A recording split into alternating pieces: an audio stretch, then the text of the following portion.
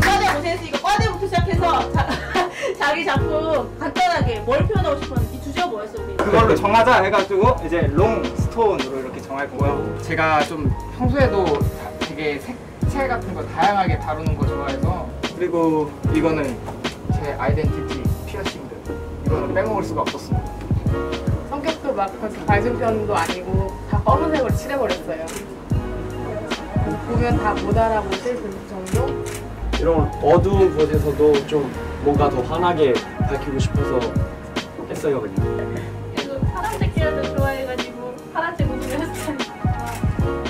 너무 고민도 많고 이렇게 나름 연습들을 열심히 한 것 같아서 이게 좀 삐죽삐죽한 그런 걸로 표현을 할 것 같습니다. 자세 같은 것도 뭐 순수한 이미지 그런 걸 좀 담고 싶어가지고 예 그렇게 표현을 이렇게 지금 예 그림 작품이 나왔습니다. 예, 감사합니다. 감사합니다.